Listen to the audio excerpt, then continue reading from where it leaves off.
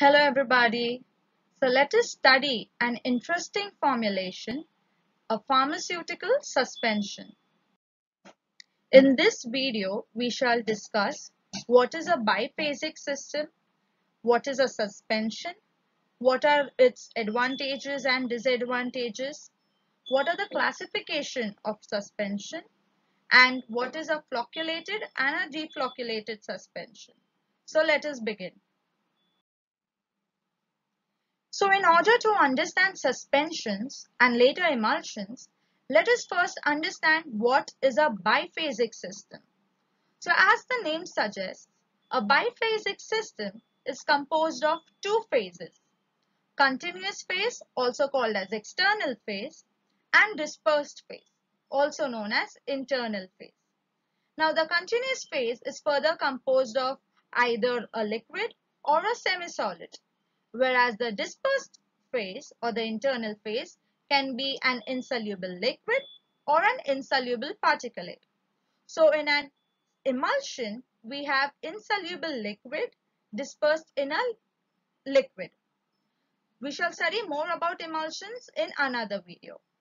Whereas a suspension has insoluble solid particles dispersed in a continuous liquid medium. Now remember, that all the biphasic systems are heterogeneous in nature. So let us put this together in a definition format. A pharmaceutical suspension is a heterogeneous system consisting of two phases in which the internal phase is dispersed uniformly throughout the external phase. Now an internal phase consists of a solid particulate matter that is usually insoluble in the dispersion medium. However, it is dispersed uniformly throughout the external phase. Now, this is by the help of certain excipients and the important one is a suspending agent. Now, external phase is also known as suspending medium or dispersion medium. It is generally aqueous but if you are using it for non-oral purposes like topical or ophthalmic, it can also be oily in nature.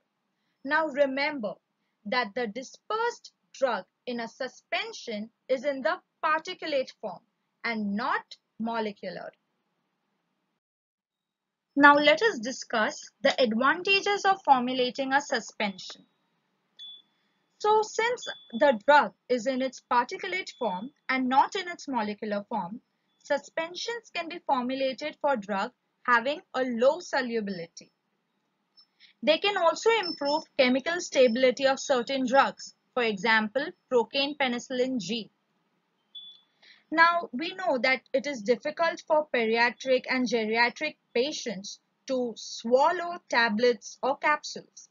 Hence, suspensions can be used to deliver drugs in such cases. Now, suspensions exhibit a higher dissolution rate and thereby a higher bioavailability than other dosage forms. Now, this is because tablets and uh, other coated tablets and capsules needs to disintegrate and then the granules will dissolve but drug is already present as a suspended particle. Hence, it is a faster process. So, this is the order. Solution is the most fastest, then comes suspension and then the other formulations. Now, we can also control duration and onset of action of a suspended formulation. Now, because of that, it is possible for a pharmaceutical suspension to be formulated as a controlled delivery system. For example, intramuscular injection. And suspensions can mask unpleasant or bitter taste of certain drugs. For example, chloramphenicol. Please do remember these examples. For any formulation, a given set of advantages also have certain disadvantages. So let us discuss the disadvantages of a pharmaceutical suspension we see there are many instabilities in a suspension. Instabilities like physical stabilities, sedimentation problems, compaction problems, Also, crystal formation like Ostwald ripening and breaking of the suspension. These are certain instabilities which need to be addressed and they are very difficult to be corrected. Also, pharmaceutical suspension comes in a bottle made of glass or plastic. Hence, it becomes a bulky dosage form and care must be taken while handling and transport. So, there is less patient compliance. Also, it is difficult to formulate and produce an aesthetic appearance of a pharmaceutical suspension, keeping in mind these instability issues. Also, before you use or consume a suspension, it must be shaking, okay? Uh, so that again leads to patient incompliance. And if it is not shaking before use, uniform and accurate dose cannot be achieved okay? And if you want to achieve a uniform and an accurate dose you need to have a unit dosage form for suspension which is not possible. Also pourability and syringeability are certain issues which need to be addressed syringeability is highly important for formulating a parenteral suspension now let us understand different classifications of a pharmaceutical suspension. The first classification is based on the route of administration. Next, we also have classification based on what is the content or proportion of the dispersed phase or what is the electrokinetic nature of the solid that is a dispersed phase and also classified based on the size of the dispersed phase. So let us understand them one by one.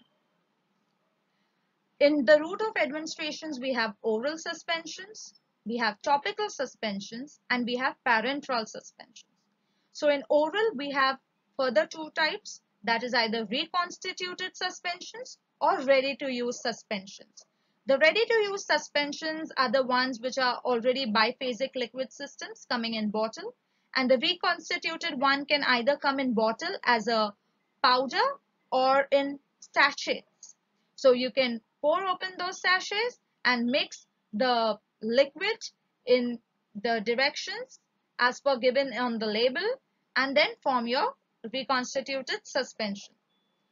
Now along with the ones which we apply on the skin, topical suspensions also include ophthalmic ones. Now the proportion of dispersed phase can be either dilute suspension or concentrated suspension. So this can be either 2 to 10% weight by volume and concentrated suspension usually has the solid content up to 50% weight by volume. Now the electrokinetic nature of the dispersed phase can either make the suspension flocculated or deflocculated. And now the size of the dispersed phase can be either colloidal, that is as we studied in colloids, less than 1 micron, or coarse, which is greater than 1 micron. Now, if these are in nano range, it becomes a nano suspension. If it is in a micro range, it becomes a micro suspension. So that liberty is given to the formulator. So as we studied in the video of coarse dispersions, we understood that the pharmaceutical suspensions are composed of coarse solid particles and thus they tend to sediment because of their size. Now a suspension which sediments in which the particles sediment to form a hard cake like this is called a deflocculated suspension. So what happens in this is that the particles have certain electrical repulsive forces between them and because of that they do not form flocks. They instead form close packed arrangement at the bottom of the container. Also the voids present in between these particles are filled by smaller particles right? So it forms one hard mass. Now the lowermost particles are uh, sediment and uh, they are gradually pressed by the upper particles because of their weight, okay?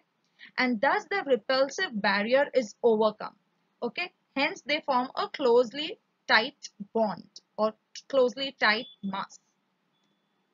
Now there is physical bonding taking place which leads to formation of this what is called as a cake or a clay. Now this is due to the formation of bridges between the particles resulting from uh, crystal growth and hydration effects. So simple agitation force like the shaking of your suspension bottle won't redisperse this cake. Okay, forces greater than that are required. Now as you see the supernatant here is not clear. It is still turbid. It still remains cloudy because of the presence of certain colloidal range of particles that are still in the dispersed phase. Okay, so this was all about deflocculated suspension. Now let us understand what are flocculated suspensions. In this kind of system, settling of the suspended particles leads to flocculation. These are known as flocks or flocculates. Flocks are loosely bonded structures, right, as you can see. Sedimentation of these flocculated particles is rapid than that of deflocculated particles. Now here, as we observe, the sediment is loosely packed and it has a higher volume. You can see it is more bulky. Now that is because these flocks retain their structure. And because of this, it is easily redispersible, right? On shaking of the suspension, this suspension will again redisperse all its suspended particles. Hence, this is desirable. Now, as we see here, the supernatant is clear because the colloidal particles, okay, those range of particles which were initially dispersed in the dispersion medium are trapped within these flocks, all right, and hence they sediment along with them. Thus, the supernatant remains clear, unlike deflocculated suspension. So now you all are very well introduced to suspensions. We shall look more into the formulation aspects in the next video. Happy learning!